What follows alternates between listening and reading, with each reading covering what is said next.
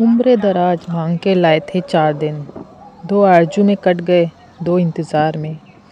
जीवन में अगर चार दिन सुकून में, एकांत में, मौन में बिताना चाहते हैं तो ये प्लेस सबसे सुकूनदायक महसूस हो सकती है।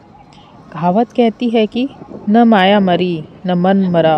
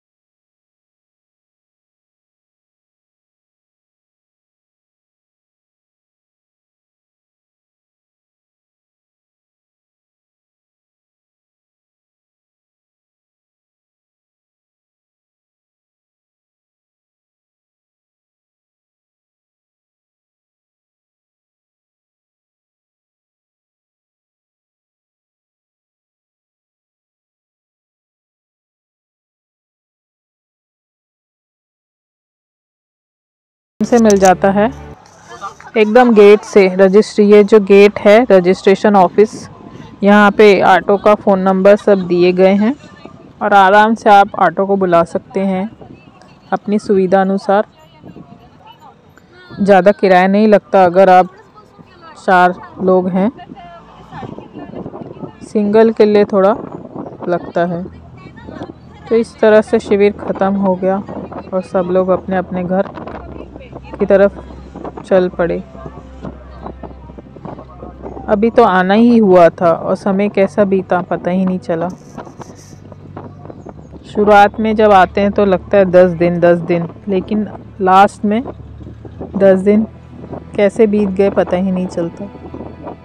ये सेंटर काफ़ी बड़ा और सुंदर है। ये तो सिर्फ़ एक भाग है, इसमें ये धम्मगिरी विपसना केंद्र है और इसमें दो और है तपोवन वन, तपोवन टू। वो दूसरे तरफ़ से उसका रास्ता है। तो दोस्तों, धम्मगिरी विपसना केंद्र इगतपुरी में ज़रूर आएँ और अपने मौन का आनंद लें।